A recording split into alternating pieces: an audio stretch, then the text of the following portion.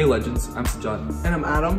And today we're going to be asking some students at Osborne what they like about the school and for some tips. And we're also interviewing an alumni of Osborne to talk about his favorite moments when he was at Lillian. What do you miss about Lillian from last year? Honestly, there's a lot to be missed from last year. Last year was a great year. Uh, for starters, I missed the vending machines actually working. We should get that fixed. That would be amazing.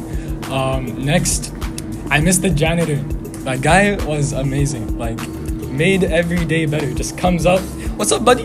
A nice fist bump. That's all you need to make a high school environment as healthy as possible.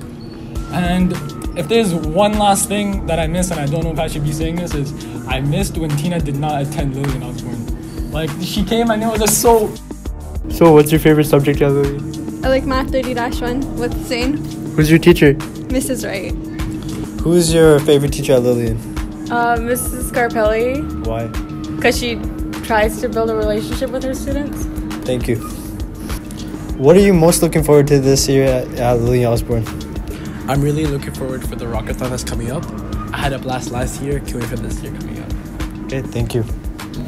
So, you guys are in grade 10, right? Yeah. Uh, so, what do you think is different from here than in your junior high? Um, there's definitely there's more people, and uh, it's like studies are harder. Yeah, there's a lot more studying. Uh, it's much harder for studies. Uh, yeah. And there's uh, it's more fun being in high school than junior high. Do you have any relatives that used to go to school?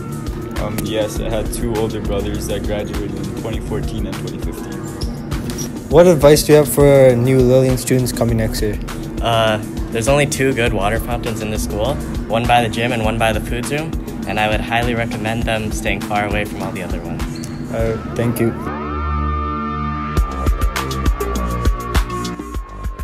So, Kareem, you graduated last year. Tell me about yourself.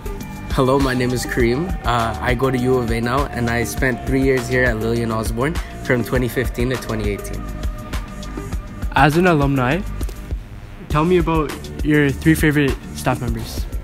Okay, so for starters, we got Miss Luck, and then we got the old custodian.